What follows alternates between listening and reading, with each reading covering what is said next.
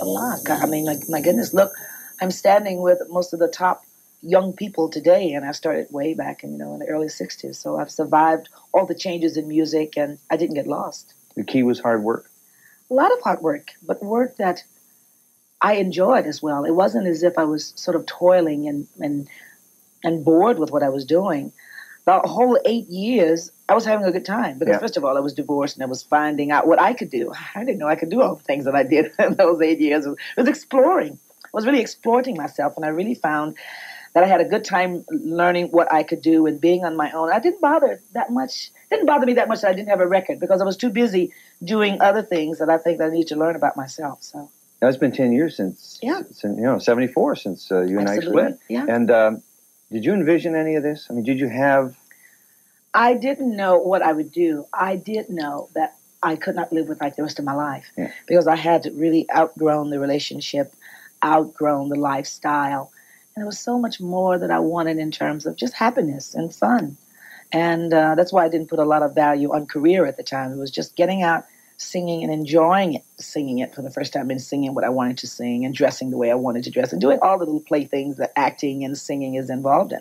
So I didn't perceive the fact and make a plan. It was that I just knew that one day I would walk out of it all and I didn't know when. And that is how I did it too. I just got up and walked out. it was that simple. a one day turnaround? It was a one it was a it was seven years of, of realizing what I was into seven years of thinking that I could not survive that yeah. time living very long. And the one trip that I was en route, and we had one of our big explosions. And and when we arrived at the hotel, we were actually we were opening at the um, Dallas Hilton, and uh, we arrived, and there was all kinds of chaos because we were late. And I took a nap. I mean, we were late, and he went to bed, and I said, "Sleep well." and I left. I had to leave. That was the time. Nothing was planned. I took no baggage. I took nothing. I took absolutely nothing. I had a maybe a small purse with a, a credit card or something, and that's all. Were you scared? Yes, I was very much afraid. The, the, as I walked, I took the staircase because I was afraid some of the musicians would probably see me and be able to tell I like, well, yeah, I saw her. So I took a back stairway, which I didn't know anything in those days. I didn't know. I didn't even know there were back stairways. Maybe I, I didn't think ahead. And I took the stairway, not in, knowing where it would end up, and I ended up in the back alley of the hotel, which is really scary. Like and I started running. And you know how you see the movies, and you, the, the faster you run, the faster you start running. You know, you yeah. continue. And I and I arrived at the freeway, and I thought, how am I going to get across this on foot? You know, you don't cross the freeway on foot. And I just dashed across. I just got across the freeway, and I walked into a Ramada Inn with this big face out to here. I was hmm. looking like some horror monster, and I just said to this man, "Can I see, you know, uh, the the management?" I said to him who I was, that I had a fight with my husband, that I should be opening at the. I just just told the truth. And the man gave me the best suite, gave me security.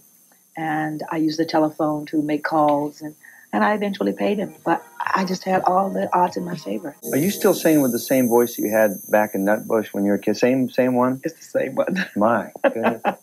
Did you take any training at all? No, I think I've, if I'd had training, then I might not be as successful as I am. Uh, I was someone asked once, um, did I take any lessons or did, could I eat before work? And I, I realized that it's what you're taught. If they had said to me, "Don't eat before working," I, I would have been starving. And you know, I, there was a time in my in my life where I could eat and go on stage, and it was like nothing. Then my system changed, and now I cannot eat before I go on. But it wasn't because I was told. I think a lot of it is mental. You know, some people do voice lessons, some people need it. I never do it. I never do anything. I just get out there and hit it, and that's it. Some people have a three or four different things that they really base their conviction about their li- a their life and b their stage work.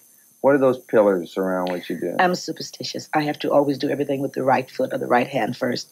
The right sleeve go in, the right shoe. Always, sometimes with the right foot. If I'm if I'm really stressed a little bit, every step I make for the steps has to be with the right foot. Everything has to be with the right. So I, that's one of my little things that I've sort of doing two duets with Lionel, and hopefully in the future we we have the plan to do. He wants to do rock and roll as well, yeah. so we're planning to do something very much of what we're doing on Are stage you comfortable together with videos? Yes. Yeah. Love it. Love it's it. great for me because I'm so visual.